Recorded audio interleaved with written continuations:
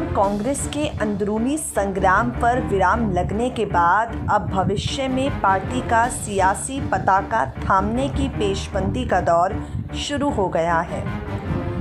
सूबे की सरकार और संगठन से बाहर हुए सचिन पायलट राजस्थान की सियासी ज़मीन पर अपनी पकड़ कमज़ोर नहीं पड़ने देने की हर एक मुमकिन कोशिश कर रहे हैं। भविष्य की सियासत पर दाव लगाने की रणनीति के तहत अपने जन्मदिन के मौके पर सचिन ने सूबे की राजनीति में अपनी पकड़ कायम रखने का संदेश सीधे तौर पर दे दिया। जन्मदिन को सियासी मौका बनाने के लिए सचिन पायलट के समर्थकों ने पूरे राजस्थान के करीब 190 विधानसभा क्षेत्रों के साथ ब्लॉक स्तर पर रक्तदान शिविर का आयोजन किया। साथ ही इसे कामयाब बनाने के लिए पायलट समर्थक सूबे के कांग्रेस कार्यकर्ताओं ने पैंतालीस हज़ार यूनिट रक्तदान कर इस आयोजन को राज्य के रिकॉर्ड बुक में दर्ज करवा दिया।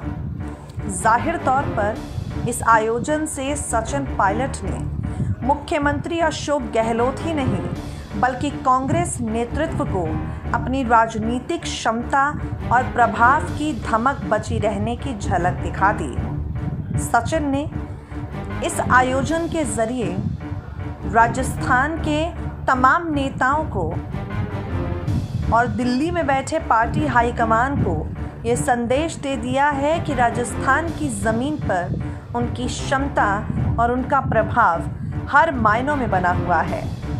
35 दिनों की बगावत प्रकरण के दौरान मुख्यमंत्री और प्रदेश कांग्रेस अध्यक्ष। इन दोनों ही पदों से सचिन पायलट को हटा दिया गया। सचिन का अभी सरकार में ना तो सीधे तौर पर कोई दखल है, ना ही संगठन में प्रभाव। राजनीति में इस मौजूदा स्थिति को उनकी कमज़ोरी ना समझ लिया जाए, क्योंकि सचिन के पास सरकार में कोई दखल नहीं है।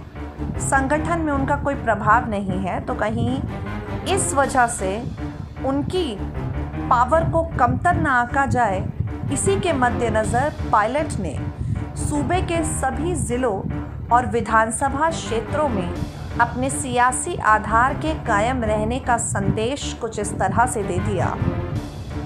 कांग्रेस की अंदरूनी राजनीति के लिहाज से सचिन ने अपनी ये ताकत उस समय दिखाई है जब बगावत प्रकरण के दौरान उनकी जगह गहलोत समर्थक जाट नेता गोविंद सिंह डोटासरा को प्रदेश कांग्रेस का अध्यक्ष बनाया जा चुका है। इतना ही नहीं, प्रदेश संगठन से सचिन पायलट के कई समर्थकों की विदाई भी हो चुकी है। हालाँकि ये बात अलग है, जन्मदिन को सियासी मौका बनाने का पायलट का ये दाव किसी असंतोष के साथ जुड़ा नहीं है।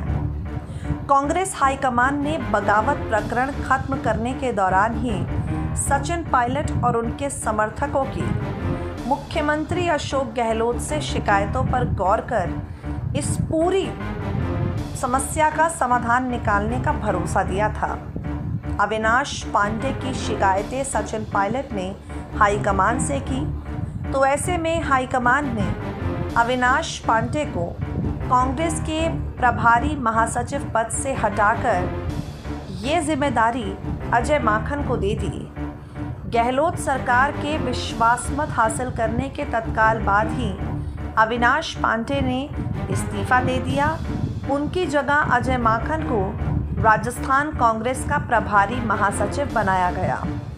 माखन पहले कांग्रेस अध्यक्ष राहुल गांधी के काफ़ी करीबी माने जाते हैं। वैसे सचिन पायलट की राहुल और गांधी परिवार से निकटता किसी से छिपी नहीं है। बगावत के 35 दिन के दौरान पायलट की घर वापसी में सबसे अहम भूमिका प्रियंका गांधी वाड्रा ने निभाई है।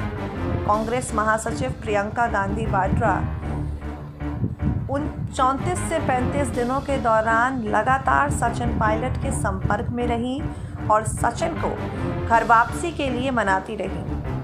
पायलट समर्थकों की गहलोत गुट से जुड़ी शिकायतों पर गौर कर समाधान निकालने के लिए सोनिया गांधी, वरिष्ठ नेता अहमद पटेल की अगुवाई में तीन सदस्यों की समिति का गठन कर चुकी हैं। इसमें अहमद पटेल के अलावा अजय माखन और पार्टी के संगठन महासचिव के सी वेणुगोपाल हैं। इस समिति की सिफारिशों के बाद सचिन पायलट की कांग्रेस की राजनीति में नई सम्मानजनक भूमिका तय होगी।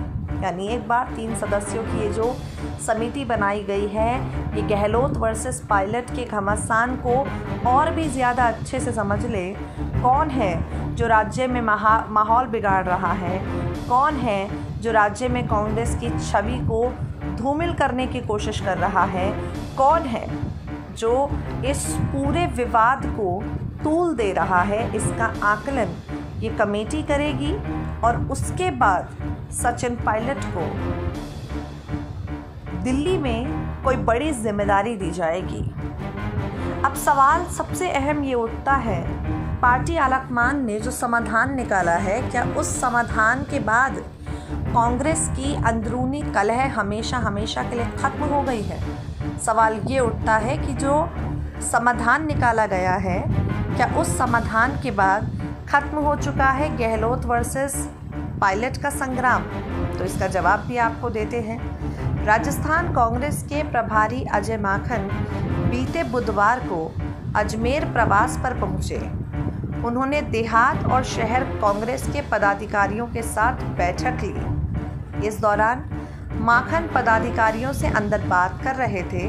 वहीं बैठक स्थल के बाहर सचिन पायलट के समर्थकों ने चिकित्सा मंत्री रघु शर्मा के खिलाफ जमकर नारेबाजी की। रघु शर्मा को धोखेबाज कहा, उनके बैनर फाड़े और पाँव से उन बैनर पोस्टर्स को कुचला है।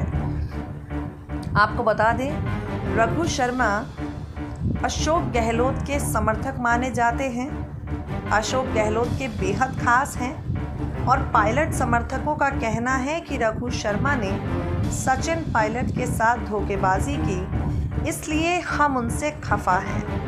काफ़ी देर तक सचिन पायलट के समर्थक रघु शर्मा के खिलाफ नारेबाजी करते रहे।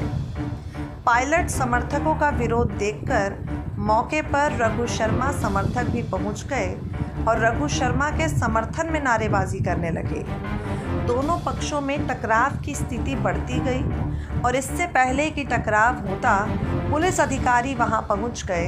दोनों को अलग अलग करके मामला शांत करवाया, जिससे ये साफ़ हुआ, कांग्रेस में न सिर्फ़ वरिष्ठ नेताओं, बल्कि अब तक कार्यकर्ताओं के बीच भी गुटबाजी है और सचिन पायलट राजस्थान की राजनीति में अपना दबाव दिखाने की, अपनी क्षमता, अपना प्रभाव जताने की हर एक मुमकिन कोशिश में फ़िलहाल लगे हुए हैं।